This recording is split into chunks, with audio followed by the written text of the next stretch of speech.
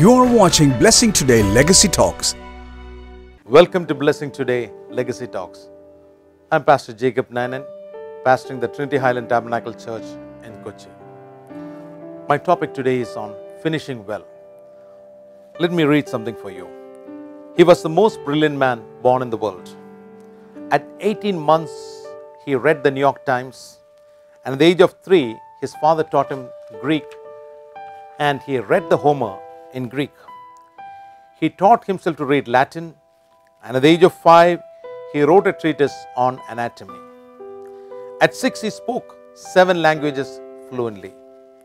At the age of nine, he cleared the Harvard entrance exam, but at the same time, he was not admitted since they would take students only from the age of 11. At the age of 16, he passed the Harvard summa cum laude, and many of us may pass only summa cum lucky, but this man was a genius. His IQ was between 250 to 300, and Albert Einstein's IQ is only around 200. The average IQ of a person is only from between 85 to 120. He was an exceptional genius. He could conquer a language in a day. His name was William James Sidis.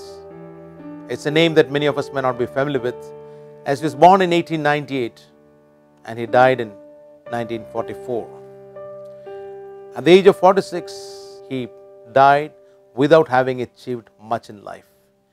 He worked later as a, in the mine fields, he worked as an overnight clerk and some other ways, never living up to his full potential, what he explained before. And it's one of the very tragic things that could happen to a man who started well in life but finished miserably.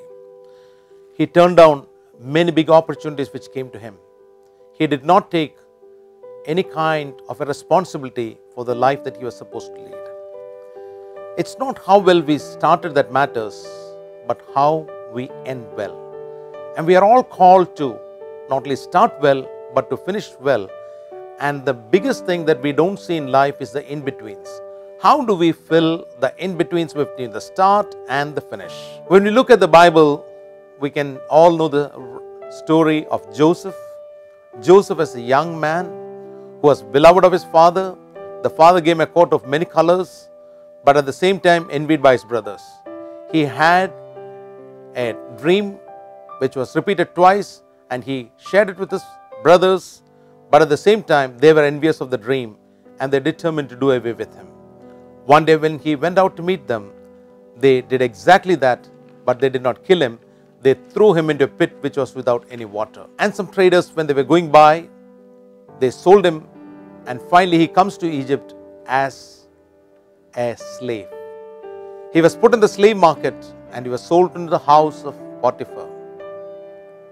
And it was out there that Mrs. Potiphar tries to seduce him, but he escapes the temptation on his life and he lives a life of integrity before God. In all this, we do not hear that God spoke to him or anything, but at the same time, he lived a life of integrity.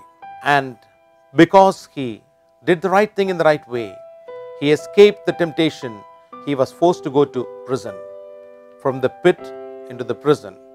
But later on, as the story goes, we know he ended up in the palace as being the prime minister of Egypt. He held on to his integrity, he held on to the word of God. It was not till 22 years that the word of God came to be reality when his brothers came to him to seek for food for their family household.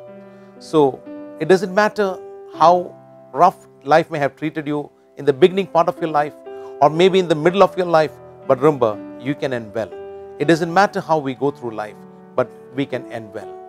And one of the greatest things that we see in Joseph is the way he held on to his integrity, he held on to the word of God. Although he did not have a Bible, he maintained that his dream was from God. And in 22 years, it becomes a reality. Maybe you have a dream from God and you see that nothing is coming out of it. Remember, Joseph had to wait 22 years to see the fulfillment of his dreams.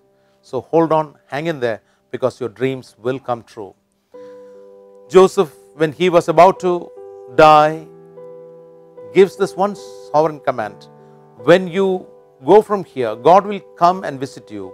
And when you go from here, Take my bones from here. And Moses, after 430 years when they were leaving Egypt, he took the embalmed body of Joseph and went to be buried with his fathers. Joseph's life is a life of testimony, a life of faith, and a life of having finished well. And it is only in the book of Joshua that we see that Joshua finally takes the tomb of uh, Joseph and puts it out there along with the patriarchs. Joseph is accorded a place with the patriarchs because of his enduring faith and a man who finished well. It doesn't matter how well we start in the race, but it matters well how we finish. So I pray that God will give you the grace to finish well what you have started. God bless you. Join us next week for a new episode of Blessing Today Legacy Talks. Subscribe to Damien Antony YouTube channel right now.